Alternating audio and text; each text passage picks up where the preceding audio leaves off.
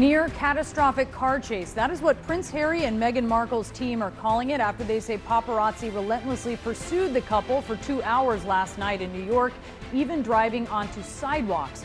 The scary event triggering many emotions more than 25 years after his mother's death in an auto accident as paparazzi chased her car.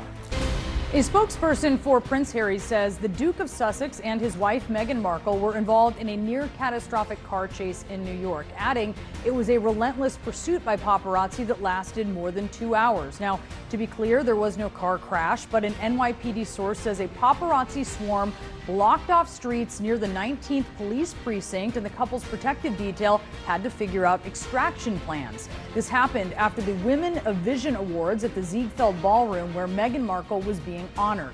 We're in the city as well. You know, when you hear about what the paparazzi were doing, putting uh, people potentially in danger. Kate, thank you so much. We do appreciate it. Jim? The immigration crisis is expanding far beyond the southern border. Riverhead, New York, which is on Long Island, just declared a state of emergency that outlaws its hotels, motels, bed and breakfast facilities, inns, cottages, and campgrounds or short term rentals from accepting migrants and asylum seekers. This is a town of about 36,000 and it's responding to reports that New York City will relocate undocumented people there. And that's just some of the backlash confronting New York's mayor. He has been trying to find places to house these new arrivals from the border, including in public schools. Let's bring in CNN's Polo Sandoval. So, Polo, tell us about the pushback that has been happening when it comes to schools. It certainly has been. Up why education officials in Florida reportedly want to interview fifth graders about a Disney movie that they watched in class and whipping up a world record. We're going to show you how a chef became an internet. State education officials in Florida could interview fifth graders as soon as today after a teacher showed her class the Disney animated movie Strange World, which features a gay character. The teacher is now under investigation over the state's law against the teaching of sexual orientation and gender identity. One of the student's parents, who is a school board member, reported the showing of the movie. Here's what she had to say during a recent school board meeting. She was unaware of the fact that this movie would cause quite this sort of uh, uproar. In fact, it wasn't on the list of movies to not be seen. Um, take a listen to her talking about the defense of are focused on testing and how school closes and school safety. Now you have this investigation going on. The teacher herself said she feels like she's in limbo because obviously with two weeks left and she's already said she's not coming back to the school. What will happen with this investigation? And those are the sort of the steps that people want to know how to move forward with this. And when we Ironically, I bet this is on the student's mind now that it's become a controversy, which may not be what that parent intended. Ryan Young, thank you so much. Jim? President Biden canceling two stops on his trip to the Asia Pacific so he can get back to Washington to negotiate raising the debt ceiling. But could it make America's influence weaker while China's gets stronger? President Biden is now on his way to Japan for the G7 summit. His trip to the Pacific region has been cut back, though, canceling stops in Papua New Guinea and Australia next week in order to get back home as negotiations continue over raising the debt ceiling. Today, the president said he's confident that the nation will not default on its debts, even as the June 1st deadline rapidly approaches. Jeremy Diamond is joining us now from the White House. So, Jeremy Biden canceled his meeting in Australia Obviously, this was an important one for showing strength in the region as tensions with China are growing. It's worrying, and amid word of that intrusion, we're also learning about an alarming surge in threats against members of Congress.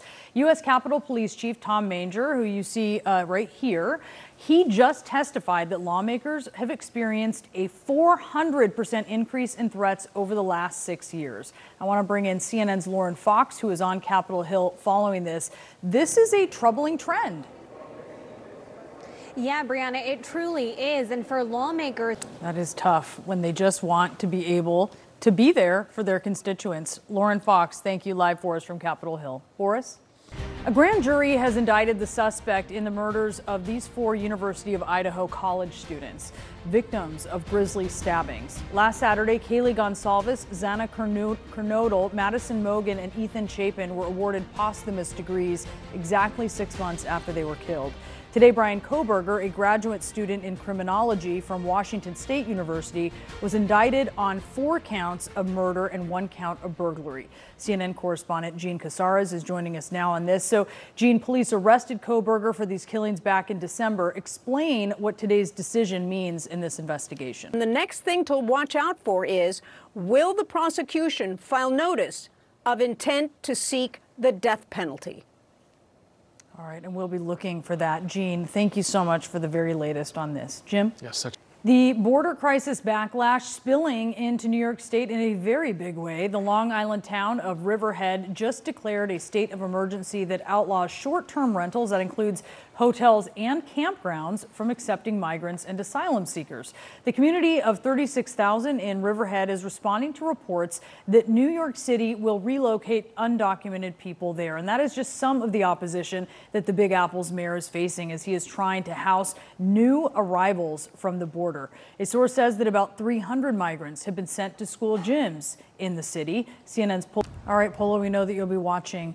Uh, Polo Sandoval in New York. Thank you. Boris? 13 criminal charges later for a embattled congressman and House Speaker Kevin McCarthy has a new strategy on how to handle George Santos while potentially avoiding political fallout. And wash your hands, take your vitamin C, Lace up your sneakers. A new study says a little bit of sweat can protect you from the flu. Also, AAA expecting record breaking travel for the upcoming Memorial Day holiday. What you can do now to avoid headaches later. This just in to CNN, Education Secretary Miguel Cardona says the pause on federal student loan payments is still set to end later this year. The pandemic related pause has been in place for more than three years and has been extended eight times. In the meantime, the White House is waiting for the Supreme Court's decision involving the administration's separate one time student loan forgiveness program. The justices are expected to rule in late June or early July, but a decision could come earlier. Jim? Health warning now. The CDC has issued a travel advisory after five people in Texas became ill with suspected fungal meningitis after traveling to the border town of Matamoros, Mexico. At least one person died from this. Four others are hospitalized, and health officials are now trying to figure out if these cases are linked and if there are more infections. We have CNN senior medical correspondent Elizabeth Cohen who is following this story. Elizabeth, why were these residents in Matamoros for the first place?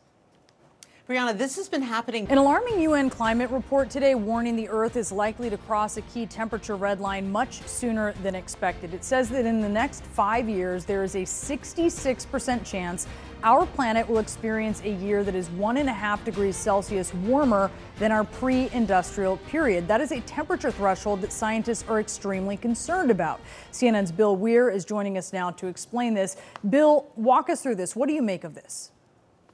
Well, is dialogue that seems to be getting progress, and all that snow has given people some breathing room. It hasn't ended the drought, but it's certainly made it uh, less worse in the near term. All right. Uh, Bill Weir, thank you so much. So important. Yeah. We do appreciate it. Jim?